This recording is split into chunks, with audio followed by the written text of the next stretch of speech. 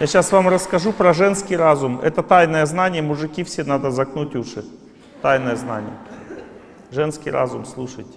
Есть глупые женщины, есть разумные. Глупые женщины требуют равноправия. И в результате они страдают постоянно в отношениях, потому что мужчина не раскрывается в таких отношениях, где равноправие. Потому что женщина психически сильнее, и никакого равноправия здесь нет. Если женщина диктует свои права, мужчина не может с этой силой совладать. Женщина психически сильнее мужчины. При, приведу пример, допустим. Вы обиделись на мужа.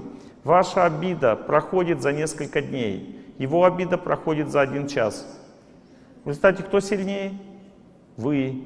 Ему приходится перед вами прыгать, лазить, просить прощения всегда, а вы будете наглеть. Почему? Потому что ваша психика сильнее, а вы прощаете за несколько дней. Он не может так долго ждать. Он уже простил давно. Понимаете, у женщины психика более мощная с точки зрения отношений. Бог так сделал. Допустим, вы помните все его недостатки постоянно, всю жизнь. Он ваши недостатки всегда забывает.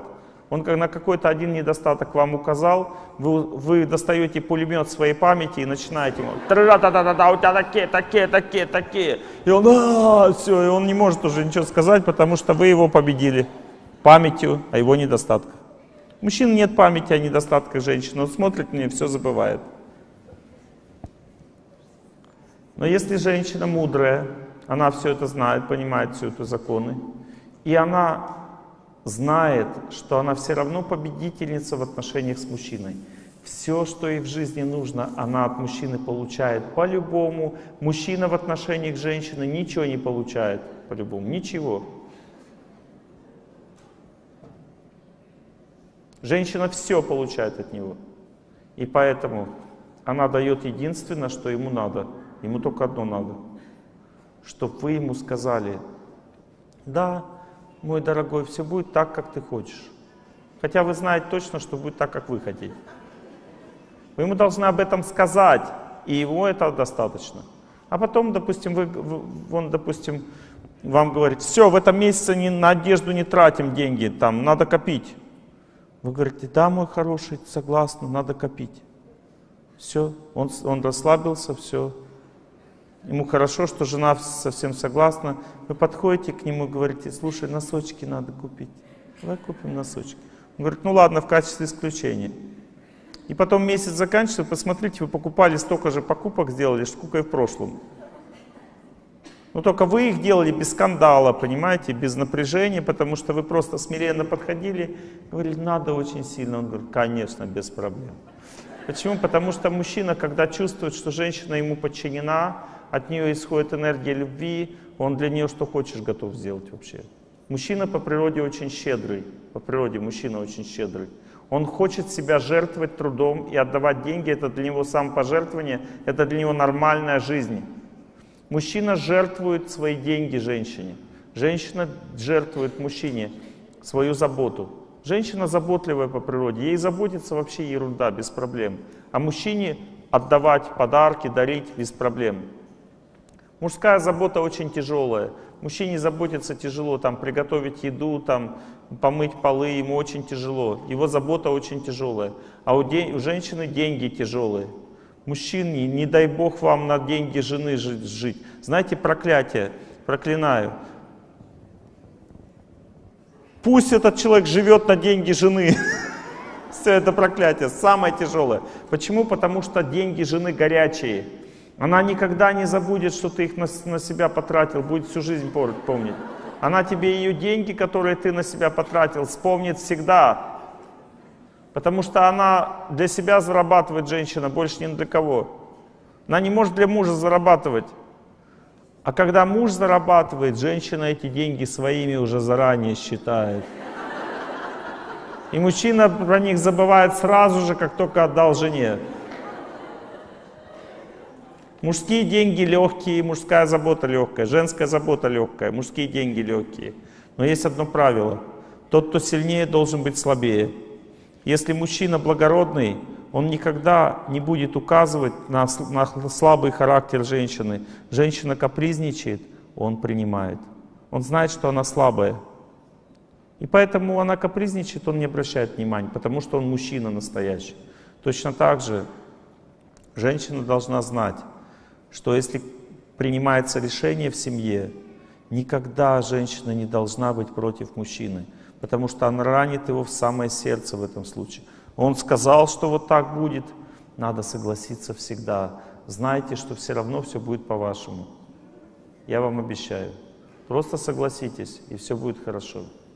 Это признак разума. Только разумные женщины так делают. А глупые всегда сопротивляются. И поэтому всегда мучаются. Потому что мужчина, он может быть или, ну как бы, ласковым медведем, или петухом. Или он воюет, или лежит на печке, понимаете? У него два варианта. Если вы из него петуха делаете, то есть, понимаете, с петухом разговор короткий, он может только кукарекать и сражаться, и все. У него нет другого вообще опции другой жить. Если вы его петушите, он будет вас бить, мучить, сражаться и сам даже не будет понимать, как он руку поднес, нанес. Потому что вы его петушите, вы не соглашаетесь с ним. Значит, он становится петухом, понимаете? Он начинает прыгать на вас, кидаться. Он просто хочет только одного, чтобы вы согласились. Больше он ничего не хочет вообще, потому что если вы не соглашаетесь, его жизнь разрушается. Он должен женщину контролировать ее жизнь. Если он чувствует, она бесконтрольная, она разрушает свою жизнь, он разрушает свою жизнь тоже. Потому что он отвечает за женщину. Она отдает ему свою судьбу.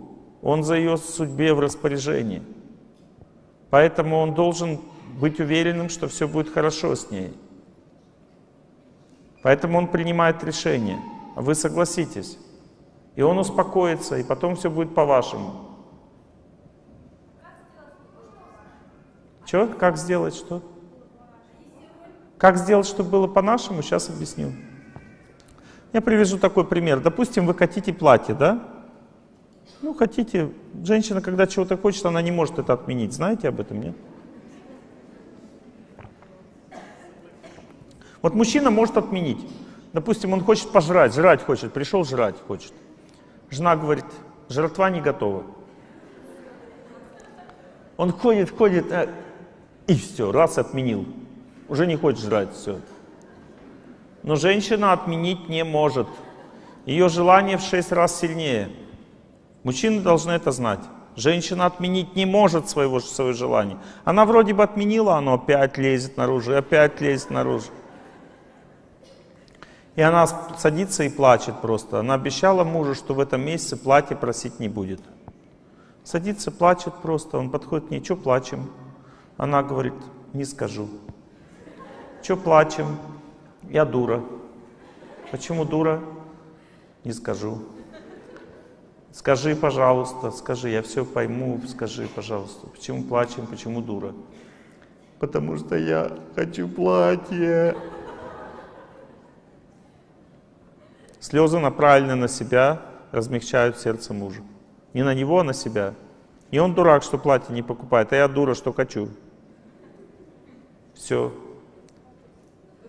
У него сердце тает. Допустим, он сказал, да, дура, нельзя платье хотеть. И пошел. Может быть такой, это крайний вариант, жестокий вариант такой. Все равно у него в сердце нежелание покупать платье стало на 50% меньше. Он уже растаял, он, слезы женские направлены на себя, разрушают все препятствия в сердце мужа, все до одного. Второй ваш раз заплачете, он даже подходить не будет, платье принесет. Теперь поднимите руку мужчины, которые считают, что это не так, то, что я сказал. Кто из вас не купит платье, если женщина плачет, не вас критикует, а себя? Кто из вас не купит платье? Кто не пойдет и не купит ей, чтобы она была счастлива, если она смиренна? Видите, ни один мужчина не поднял руку, значит все купят. А? Боятся, да? Хорошо, поднимите руку мужчины, которые купят платье. Купят в этом случае. Вот, пожалуйста. Все подняли руки, никто не боится. Чего вы их, мужчин, это, порочите? Мужчины щедрые по природе, женщины, вы просто не знаете. Вот в этом вся проблема. Женщины не знают мужчин, мужчины женщин не знают. Мужчины, мужчины щедрые. Что тебе подарить, человек мой дорогой? Как судьбу благодарить, что свела меня с тобой? Я тебе подарю, может, эту зарю. У меня для тебя невозможного нет. Это мужская психика, понимаете, у каждого мужчины такой характер. Он готов ради жены даже свою жизнь отдать. Вы об этом не знали? Мужчины идут, воюют, отдают жизни ради жены и детей. Отдают свою жизнь даже женщины. Не поднимают руки. Не оскорбляйте мужское начало.